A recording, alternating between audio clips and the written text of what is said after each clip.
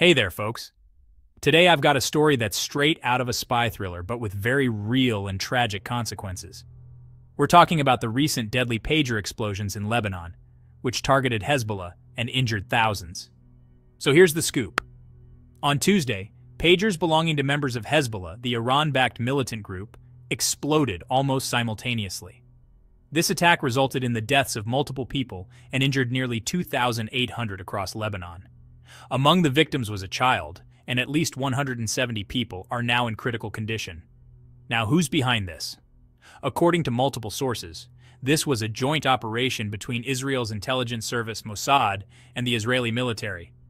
The New York Times reported that Israel hid explosives inside a batch of pagers ordered from a Taiwanese manufacturer, Gold Apollo, which were destined for Hezbollah. These explosives were embedded with a switch that allowed them to be detonated remotely. Videos circulating on social media and news agencies show powerful explosions in various locations across Lebanon. One particularly shocking CCTV video shows a man in a supermarket picking out fruit when an explosion tears his bag to shreds. The man drops to the ground, clutching his lower abdomen, and after several seconds, you can hear his groans of pain. The wave of explosions hit several areas, particularly the southern suburbs of Beirut and towns in the central Bekaa Valley, which are known Hezbollah strongholds.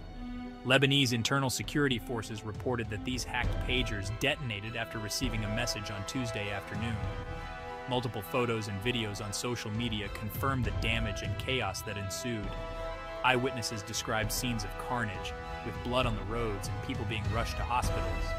One witness recounted visiting a friend who had been carrying one of the pagers when it exploded. He mentioned that these devices weren't just in the hands of Hezbollah members, but also in the hands of ordinary people and security personnel who were also hurt. David Kennedy, a former U.S. National Security Agency intelligence analyst, commented on the explosions seen in the videos. He noted that the blasts were too large to be caused by a simple hack, suggesting that the explosives planted in the pagers were indeed sophisticated and deadly. This unprecedented attack has further escalated tensions in the Middle East, already heightened by Israel's ongoing conflict with Hamas in Gaza. Both Lebanon and Hezbollah have vowed to respond to what they call Israeli terrorism. So there you have it, folks. A deadly game of cat and mouse with devastating consequences for innocent bystanders. Stay tuned for more updates as this situation continues to unfold.